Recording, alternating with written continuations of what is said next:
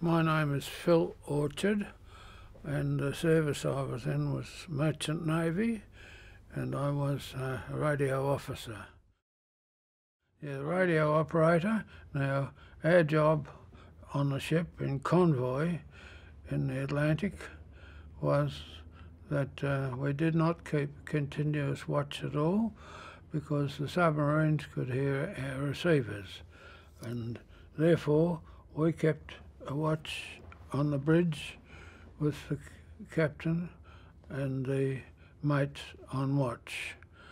Uh, we also did the coding and decoding, so we knew everything that was going on and very close to those people at the whole time.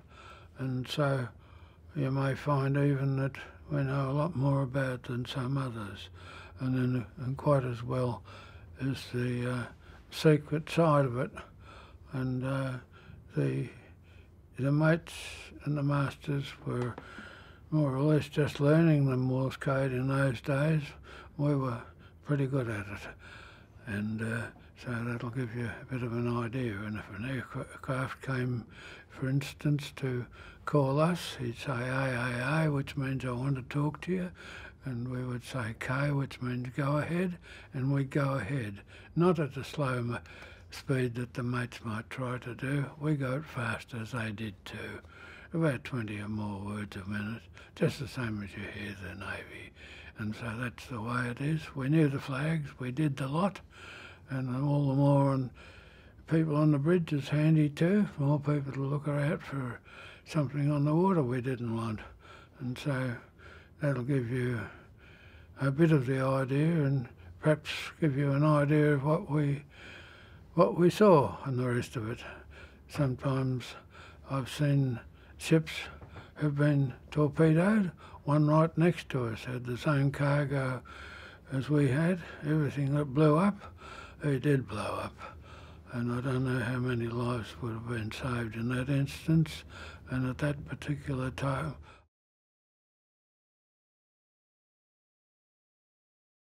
My father was at sea all his life. He was a chief engineer, and uh, and so uh, I suppose it was, had to follow some time.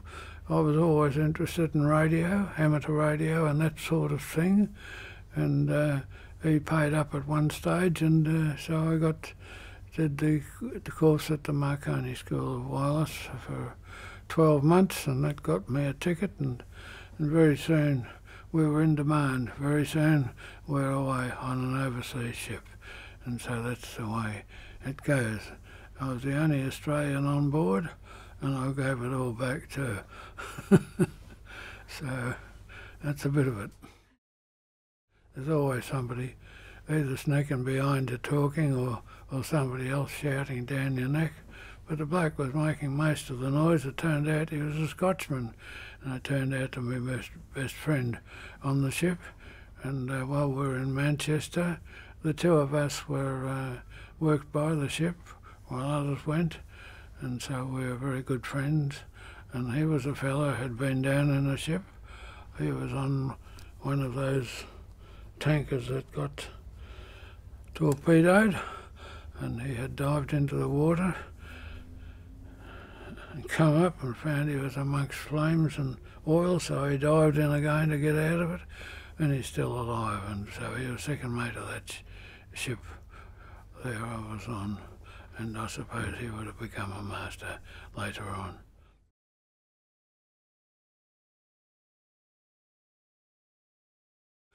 One next door to us was stolen, carrying the same cargo as us, war supplies and the rest of it. It completely exploded. I shifted in my chair. I was on watch at the time. and uh, uh, whether anybody lives from it, I doubt. Uh, that's the sort of stuff we're carrying, bombs, heavy stuff. I've seen instances where one ship swapped places with in the night with another one with a fog around, things like that.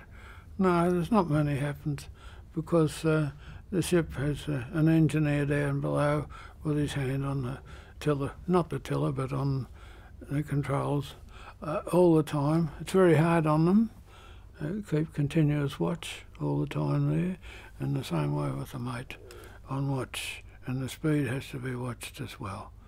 The, uh, all the lights are closed and the rest of it, and if the escort sees a light coming from your ship, he's likely to fire on it. I don't blame him.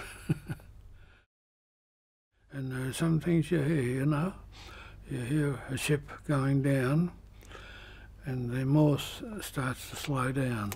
The water's coming in, and the machinery stopped, and it, it's an awful feeling.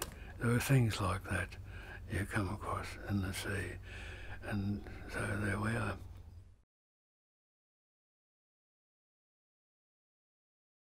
And then, of course, there was the secret stuff we did. We did. Can't tell you much about it. It's still secret. So that's the way that goes. And we know what the Germans were doing with the Enigma machine. It was spent, sent at very high Morse, and it was received on the other end on a symbol a simple type of receiver. So, uh, and the the Enigma machine is quite small. You may have seen one, and in the front of it is just like a typewriter. It's not heavy, and usually in a wooden box, and uh, it runs off a nine-volt battery. And every station has one of these things, and they have books and papers uh, which are very regularly changed. Without those, you can't get the immediate result on your on your signals. That's it. I've seen one and seen it being demonstrated. They were not a German invention. They were invent, invented by the Poles, and just by sheer luck, the uh, the British had one during the war, and uh, it was highly secret.